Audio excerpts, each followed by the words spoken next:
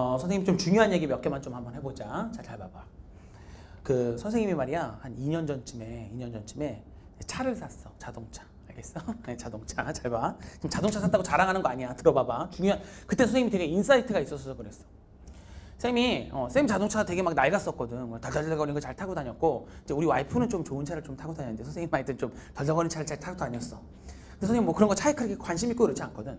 그러다가 한 2년 전쯤에 어, 차가 또 낡은 것 같기도 하고 그 다음에 또 이제 그렇잖아. 뭐 차도 좀 좋은 거 바꾸고 싶더라고. 그래가지고 내가 선생님 수준보다는 조금 좀 좋은 차, 하여튼 조금은 무리할 만한 좀 좋은 차를 하나 좀 사야지 이렇게 결심을 했어. 그래서 이제 살 거야 말고 이제 결심했어. 결심해놓고 선생님 제일 친한 친구 축구공이라는 친구가 있는데. 하여튼 그 축구공이라는 친구랑 같이 야 나 차 살 거니까 우리 구경하러 가자. 그래가지고 이제 어, 밤에 구경하러 갔어. 자동차 매장에 갔어. 이미 살려는 자동차는 딱 머릿속에 딱 있었어. 그래서 이제 이 차 살 거야 이러고선 그 차를 사러 이제 자동차 매장에 딱 갔어. 갔더니 어 사람들이 되게 많더라고 자동차 매장에. 어 그래서 막 자동차 이제 뭐 상담도 받고 뭐, 뭐 구경하는 사람도 많더라고. 그래서 이제 그 차 그 차 좀좀 좋은 차였어. 이제 하여튼 뭐그그 매장에서는 꽤 좋은 차였어. 그래서 가가지고 이제 앉아가지고 친구랑 야나이차살 거야. 이러고 앉아가지고 막 이렇게 막 이랬어. 막 앉아도 보고 막 이렇게 해보고 어 좋은데. 이러고 나 살 거야 살 거야. 막 이러고 있었어. 그 선생님은 진짜로 살 마음이었어. 진짜로 어차피 차가 낡아서 이거 사야지 이제 생각한 거였어. 근데 되게 매장에 바쁘더라. 바쁘니까 거기 있는 직원들이 말이야 뭐 이렇게 이렇게 정신이 없더라고. 근데 이제 선생님이랑 선생님 친구한테 안와. 그래 뭐안 오나 보다 이러다가 이제 보니까 손님들이 좀 나가고 하니까 약간 좀 한가해졌어 그러면 이제 거기 있는 그 매장에 있는 딜러들이 선생님한테 좀 와가지고 뭐 이렇게 설명도 해주고 해야 될 거 아니냐. 어, 그러면 나 이제 진짜 살려고 그랬거든. 근데 저쪽에 서가지고 이게 나랑 대충 이렇게 쳐다보더라. 일거일거 보더니 딱 표정이 뭐냐면 이거야. 아, 저뭐 추리닝 옷고 저 아저씨 저거 아저씨들 저거 살 것 같지는 않고 와가지고 뭐 자동차 저 구경하다 온 사람들인 것처럼 우리를 보대. 어. 그러더니 그냥 아이 뭐 됐다 이러더니 오지도 않아. 그래서 내가 이제 친구한테 야 왜 우리한테 상담 안 와? 이거 나 이거 살 건데 막 이랬는데 뭐 내 친구가 웃으면서 야 네가 뭐 엄청 안 사게 생겼나 봐. 이러면서 뭐 이렇게 아저씨 같이 입고 오니까 너무 아저씨 같고 뭐 동네 아저씨 같아서 이런 차 살 사람처럼 안 생겼나 봐. 막 이러고 그러더라 아씨 뭐야? 막 이러고 구경하다가 하여튼 기분 나빠서 그냥 나왔어. 나와가지고 이제 차를 타고 다른 고자동차 다른 매장에 갔어. 다른 매장에 가가지고 또 들어갔더니 또 사람 막 많더라고. 그래가지고 아이 뭐 들어갔어 이제 들어서 아, 사람 많네 이러고 이제 앉아가지고 또 이제 자동차 이렇게 막 해봤어. 아 이러면서 이거 살 거야 막. 근데 거기도 마찬가지야 또 똑같아. 사람들이 엄청 많은데 또 이제 손님들이 좀 없고 이런데 거기 몇몇 직원들이 하여튼 나한테 와야 될 거 아니니? 와가지고 뭐이차 저기 뭐 설명을 좀 해줬으면 하는데 아직 관심이 없는 거야 나한테. 관심이 없고 이렇게 힐끗 보고 아 쟤는 뭐안살 애인 것 같아. 이러고 그냥 그 가만히 구경하다 가라. 약간 이런 분위기야. 그래서 막 내 친구 계속 웃고 나도 막 아 뭐야? 막 이러면서 막 어 내가 그렇게 안 사게 생겼어? 막 이러면서 막 이렇게 나왔어 다시. 나와가지고 아 이러고 이제 세 번째 매장을 갔어 네, 선생님 집에서 그래서 꽤 멀리까지 갔어. 멀리까지. 멀리까지 가가지고 멀리 있는 매장에 딱 갔어. 가가지고 이제 들어갔어. 그래서 또 이제 그 차가 있길래 야 좋다 이거, 구경할 거야. 또 앉아가지고 막 돌고 구경하면서 막 앉아서 막 돌려도 보고 막 이거 좋다 이러고 있었어. 살 거야 막 이러고 있었어. 근데 거기도 마찬가지 막 바빴는데 한 명 직원이 나한테 오더라고 선생님한테. 근데 되게 나이가 드신 분이야. 나이가 꽤 있으신 분이 오더니 저기 지금 자기가 다른 분을 상담 중이니까 요 분 상담 딱 끝나고 바로 좀 와서 저기 상담해 드릴게요 이러는 거야 나한테. 그러면서 그러니까 좀 구경하고 계세요? 그러더라고. 그래서 내가 아 네네 그랬어. 근데 그분이 오늘 상담하더니? 끝나고 선생님한테 오더라. 오더니 이제 나한테 상담을 해주는 거야. 근데 정말 너무 친절하게 너무 자세하게 하나하나 설명해 주는 거야. 뭐 궁금한 거 더 없으십니까? 하면서. 그래서 정말 뭐 이것도 물어보고 이것도 물어보고 막 물어봤어. 설명을 차근차근 잘 해 주시더라고 어 되게 감동받았어 진짜. 고마워. 그래서 내가 이제 그리고 이제 일어나서 어 이제 명, 내가 막 살 거란 얘기는 안 했어. 왜냐면 이제 내가 이제 살려고 결심은 했지만 그래도 이제 선생님도 우리 와이프한테 우리 마누라한테 이제 허락을 받아야 될 거 아니니 그치? 그러니까 이제 와이프한테 얘기는 해야 될 거 아니야. 나 이제 차 바꾸고 싶어. 살 거야 이렇게. 그래서 이제 그 얘기는 해야 되는데 미리 결정할 건 좀 그럴 것 같아서 일단 그분한테 어 저기 너무 감사했다 그러면서 저 명함 좀 주세요 그랬어. 그랬더니 어 그분이 아 알겠습니다 하고 명함이랑 뭐 자동차 브로셔랑 이런 걸 이제 챙겨가지고 선생님들이 주더라고. 그래서 딱 받았어 받아가지고 딱 보니까 명함을 보니까 지점장이야 지점장. 어. 그러니까 그 매장 지점장이더라고. 그 나이가 어쩐지 좀 있어 보이시더라고. 내가 받고 아 이제 나왔어. 나와서 내가요 집에 가서 우리 와이프한테 야 나 차가 너무 낡아가지고 차 좀 새 걸로 좀 바꿀게 이렇게 이렇게, 이렇게 살게 좀 이렇게 좀 좀 뭐 좀 비싸더라도 나 이거 사고 내가 열심히 돈 열심히 더 열심히 벌게 막 이렇게 얘기했어. 근데 와이프도 뭐뭐 알았어 그렇게 해, 해, 해 되죠. 네. 하고 제가요 자고 그 다음날 아침에 일어나서 일어나자마자 아침에 그 지점장 그 번호 보고 전화했어. 전화해서 저기 어저께 혹시 기억하세요? 그랬더니 뭐 기억도 못하는 것 같아. 내 느낌은. 와 합니다 하는데. 하여튼 그러고 내가 저기 고차 요렇게 요렇게 구매할게요. 그러니까 바로 뭐뭐 해서 나한테 보내주세요 해가지고 바로 샀어. 바로 샀어. 바로 계약했어. 그래서 그분 바로 그날 와가지고 학원으로 오라 그래서 와가지고 같이 계약서 쓰고. 그랬더니 그분이 막 아 기억나요? 막 이러더라고 응, 샀어 자 여기 봐봐 여기서 내가 하고 싶은 몇 가지 insight 중요한 얘기가 있어 지금 선생님 차 샀다고 자랑하고 이런 거 아니야 알았어? 그거 아니야 잘 봐. 어, 지점장이래. 지점장. 그 지점장은 그래 어찌 보면 거기서 뭐 제일 잘 된 사람이겠지. 잘 나가는 사람이겠지. 그러면 그 지점장이 그래 차도 잘 팔고 했으니까 뭐 잘 됐겠지. 그럼 그 사람은 지점장이니까 나를 딱 봤을 때 아, 쟤는 옷은 되게 허름하게 입고 막 이러고 동네 아저씨처럼 쓰레받 끌고 왔지만 아 그래도 쟤는 뭔가 포스가 있어. 쟤는 딱 차를 살 것 같아. 그래서 선생님한테 왔을까? 아, 아니겠지 그치? 아니야. 그 사람도 아마 날 봤을 때 아유 그냥 동네 구경 온 사람인가 보다 라고 느꼈을 거야. 그러나 그러나 최선을 다했다고 난 생각해. 그 상황에서 최선을 다한 거야. 뭐 이 사람이 뻔질나게 딱 입고 와서 뭐 살 사람처럼 있든 아니면 뭐 정말 동네 구경 온 사람이든 간에 와서 최선을 다해서 상담해주고 최선을 다해서 한 거야. 그니까 뭐 얻어 걸렸다는 표현은 그런데 그니까 된 거야. 내가 산 거야. 선생님 바로 집 앞에도 매장이 있었거든. 거기서 안 샀다고 왜 안 샀어? 갔는데 나한테 안 와. 그럼 걔네들은 뭘까? 그 사람들, 그 딜러들은 뭐였을까? 내가 이랬을 걸? 딱 보니까 자기들 딴에는 자기들 딴에는. 아 저 사람은 딱 차 살 사람. 에이 쟤는 그냥 구경 오네. 아이 귀찮아. 냅둬 냅둬. 좀 쉬자. 이거 아닐까? 난 진짜 살 사람이었는데. 난 진짜 나한테 와서 상담만 딱 해줬으면 나는 네? 하고선 그 다음날 바로 살 사람이었어. 뭐 뭐가 어쩌고저쩌고 따질 사람도 아니었다고. 바로 그 다음날 살 사람인데 그거 놓친 거잖아. 그래놓고 뭐 한탄하겠죠. 아뭐 저 아저씨는 왜 이렇게 저 지점장은 왜 이렇게 차를 잘 팔지? 뭐 이러면서 이상하게 뭐 불평 불만이나 할 수 있겠지 여러분 되게 중요한 얘기야 이거. 그러니까 그 사람이 지점장까지 된 거야.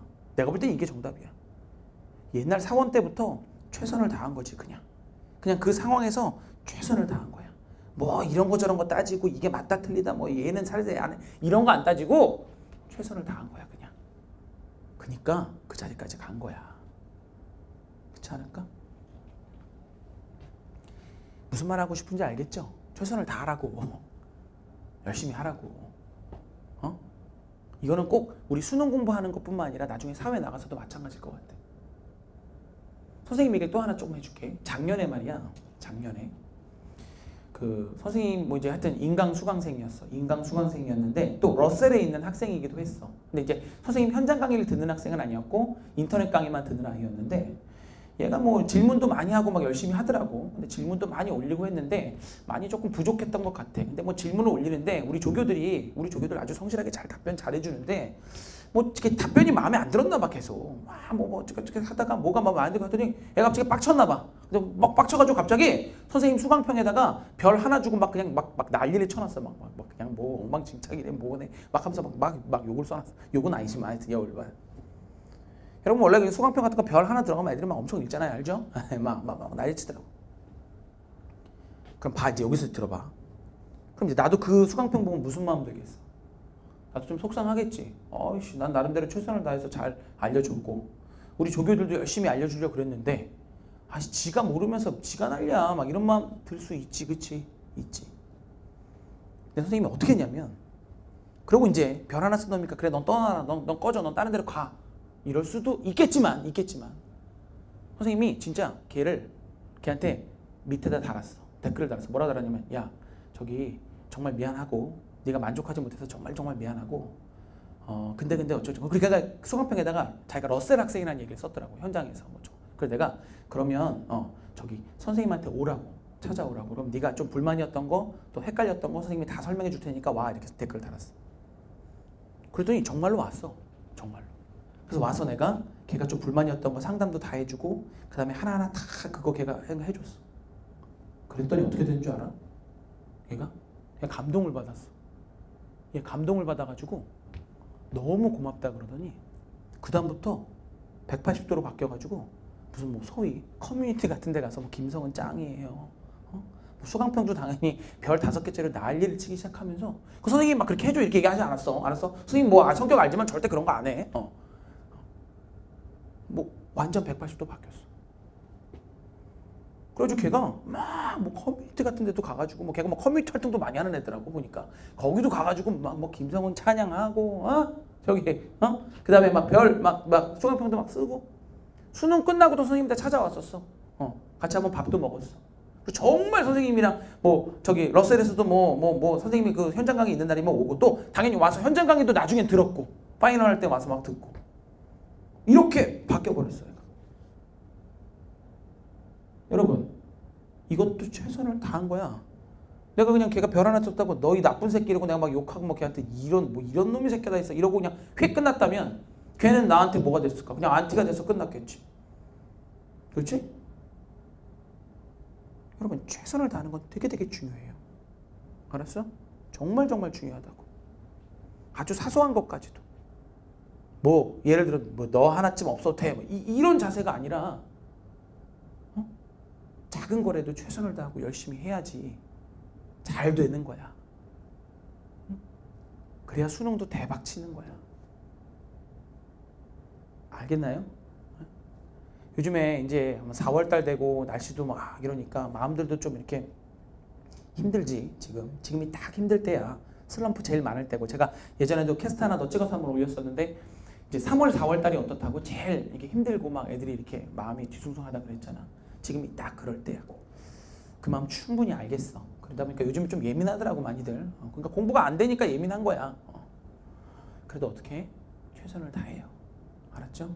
열심히 하고 그리고 자꾸 뭐 이게 맞다 저게 맞다 막 이러지 말고 그냥 우직하게 묵묵히 최선을 다하는 거야.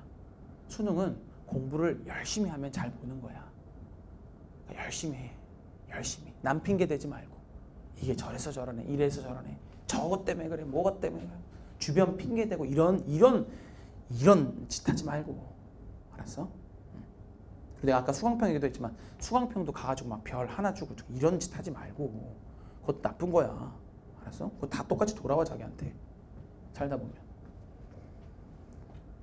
무슨 말 하는지 알겠어요? 어? 어. 그래서 지금 요즘 지금 딱이 시점에 여러분한테 이런 얘기를 좀 해주고 싶었어. 알았어? 뭐 학습법이라기보다는 여러분 그냥 정신 교육이라고 생각해 주세요. 알았어? 어, 그래서 어, 그래 마음 다시 한번 딱 잡고 마음 다 잡고 다시 한번 좀 열심히 해봐. 알았어?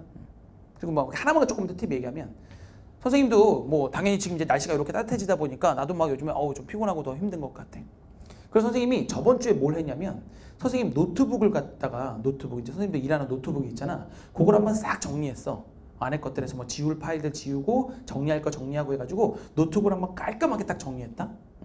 그리고 연구실에 선생님 연구실에 있는 뭐 이렇게 좀 버릴 책들 한번 싹 다 버리고 하면서 청소를 한번 싹 했어.